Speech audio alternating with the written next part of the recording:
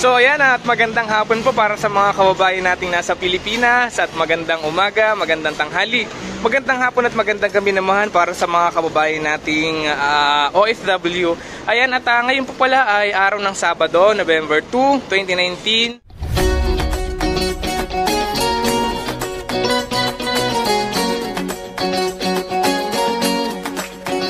At sa kasalukuyan ay nasa Manila City Hall underpass po tayo mga kababayan ko para magbigay po muli ng ah, magandang balita or updates sa inyong ngayong araw po ng ah, Sabado. Ngayon ko dito sa bahaging ito ng paakyat nga na papunta dun sa Bonifacio Shrine ay binabakbak na po nila yung mga lumang tiles ito na po yung mga nabakbak nila mga kababayan ko. Tapos ito naman po yung uh, hindi pa. So kung makikita nyo naman ay medyo may karamihan talagang tingnan dahil nga po uh, niluman na rin po ito ng uh, panahon. So ito namang uh, wall din dito, yung mga tiles na nakakabit dati dito ay uh, binaklas na rin po. No? So disclaimer lang din po nun para sa mga nagtatanong no, kung bakit pininturahan to tapos babaklasin lang. No? Uh, ito po kasi mga kababayan ko, itong uh, pagpipintura po dito ay wala pong ginastos yung taong bayan dito or wala pong ginastos na budget galing po sa Manila City Hall dahil po uh, inoffer lang po ito ni Boysen no, na pinturahan nga po itong uh, ilalim ng uh, Manila City Hall underpass. So wag po kamba mga kababayan ko dahil libre lang po itong uh, pininturahan ni Boysen.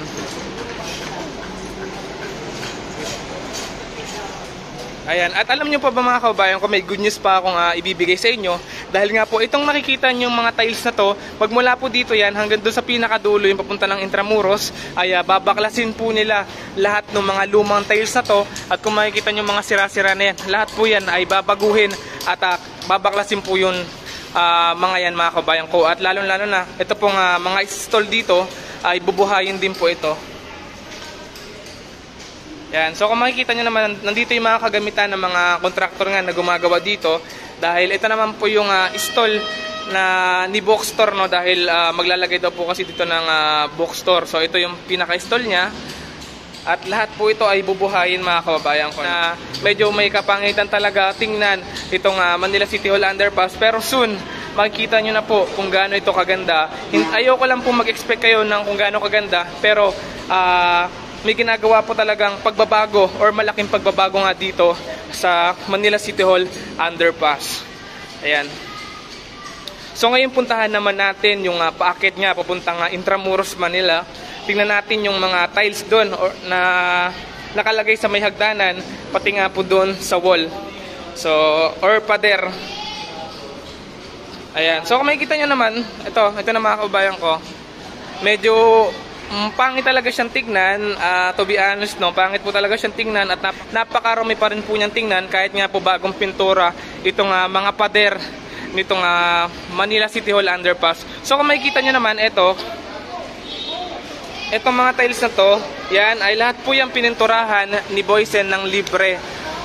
At wala pong uh, ginastos ulit dito yung taong bayan mga kabayan ko. So inuulit ko lang po ha, walang gastos yung taong bayan dito sa pagpapintura nga nitong uh, Manila City Hall Underpass. Kaya mga kabayan ko na parang doble trabaho lang no na or nangihinayang kayo sa pintura na ginamit dito dahil wag po kayong mag-alala dahil um, alam naman po yan ni Boyce no pininturahan lang po nila ito para magmukha nga daw pong malinis at uh, sila na rin po yung nagkusa at nagbigay nga ng proposal dun sa uh, Manila City Hall at ito naman po ay inagrihan ni uh, Engineer Andres.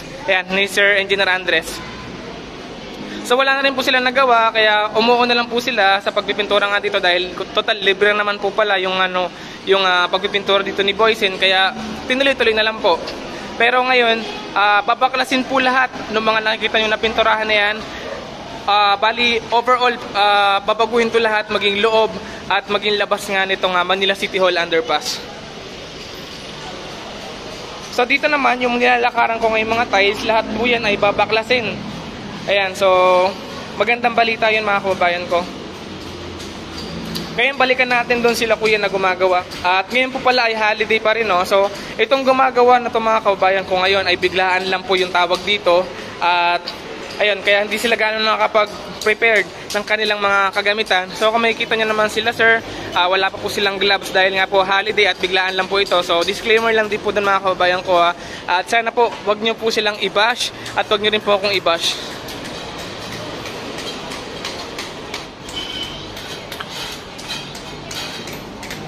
So ayun at magiging malinis na nga itong ah, lungsod or syudad lang Maynila sa pangunguna po rin po yan ng mahal na alkalde na si Mayor Isko Moreno. Naway suportahan po natin siya sa lahat ng kanyang ah, mga pagbabagong ginagawa dahil pong batas ang ipatupad ni Mayor Isko Moreno. Kung lahat po tayo ay hindi susunod, walang po, wala pong mangyayari sa lungsod ng Maynila kundi magiging dugyot pa rin. Kaya sana Ah, sundin natin yung tapat ko, linis ko na inilunsad nga kamakailan lamang po ng ating mahal na mayor na si Mayor Sko Moreno.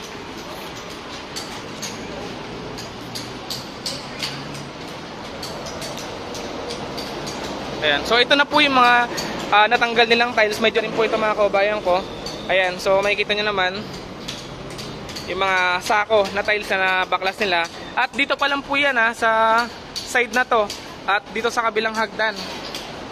Kaya ganito na po karami yung mga nakuha nilang ah, mga basag-basag na na tiles dito nga sa may ilalim na itong ah, Manila City Hall Underpass. So ngayon, akit tayo sa taas at titingnan natin dahil lahat nga po ito, ah, sinabi sa akin kanina ni Sir na lahat daw po ito ay papaguhin. At yung makikita nyo yung pintura na nakulay puti mga kabayan ko ay pansamantala lamang po yan at hindi po talaga yan yung pinaka-fix talaga na pintura dito sa ilalim ng, ah, ng ah, Manila City Hall Underpass. Ayan, ito lamang, dahil ito lamang po ay ah, donate nga lang po ito ni Boysen at sila na rin po nagpintura dito.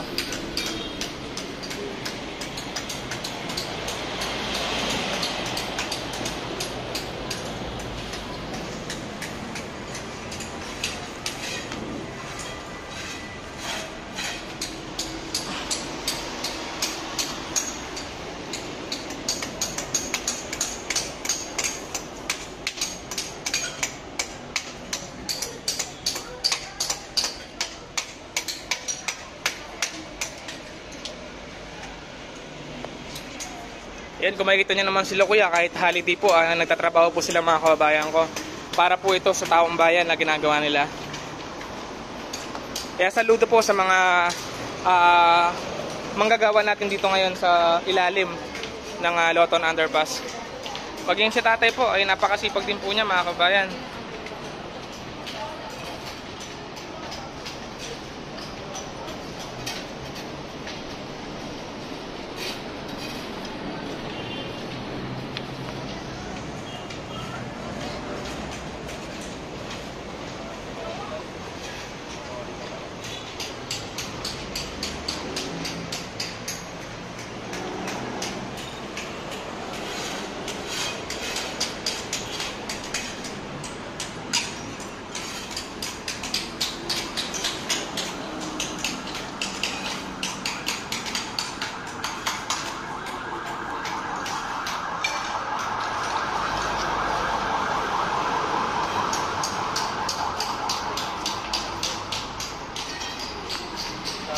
Ayan, at, at ito na nga yung ah, ipinangako ni Mayor Isko Moreno na totoo talagang pagbabago at totoo talaga na may malasakit po siya sa taong bayan, especially sa mga Manileño.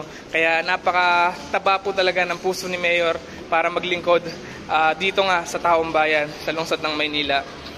Kaya maraming maraming salamat po ah, Mayor Isko Moreno na kahit ako man po ay hindi taga lungsod ng Maynila ay ah, buong puso po ako nagpapasalamat sa pagmamahal na ibinibigay niyo po dito sa lungsod ng Maynila at ah, nakikita ko naman po or nakikita na po ng buong mundo kung ano po yung mga ah, pagbabago nga na ginawa nyo magmula po nung kayo po ay maupo or maluklok bilang isang ah, mayor ng ah, lungsod ng Maynila.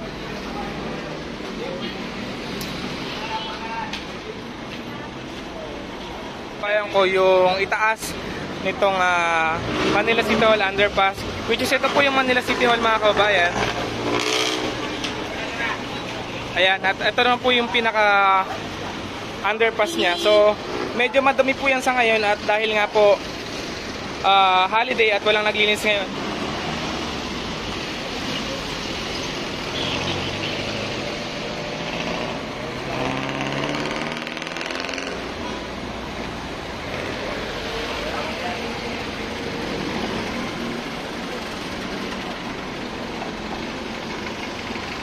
Right out.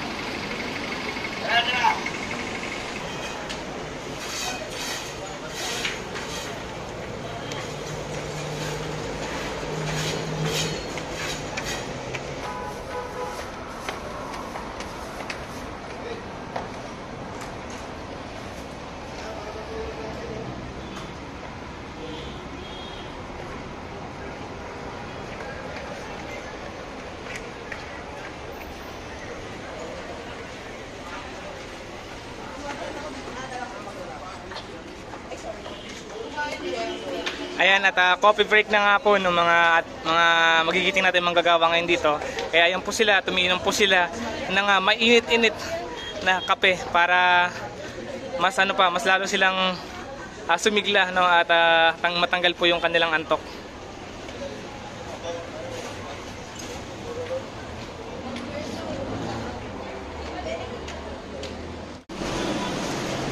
Yan, ito na po mga kabayan ko yung ah, pakatapos po tiktikin yung mga tiles. Resulta niya. Ayan. Kanina po yung ah, sa unang video na nakita nyo ay puro mga sako ng mga tiles yung nakalagay dito. At ah, nandito pa sila ko yung mga nagtatrabaho. Ngayon po ay wala na. Dahil oras na po ng ah, pahinga. At alas 6 na rin po ng ah, gabi. Yan. So binalikan ko lang siya mga kabayan ko dahil para ipakita nga sa inyo yung ah, natiktik nila or natanggal na nilang mga tiles.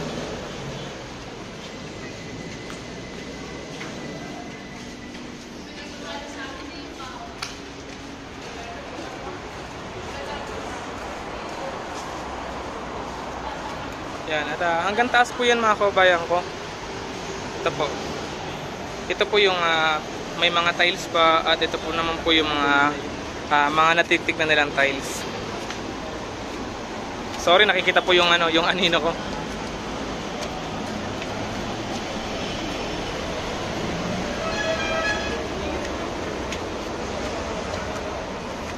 At yun, hanggang dito na lang. Ayan, so may nakita tayong aso.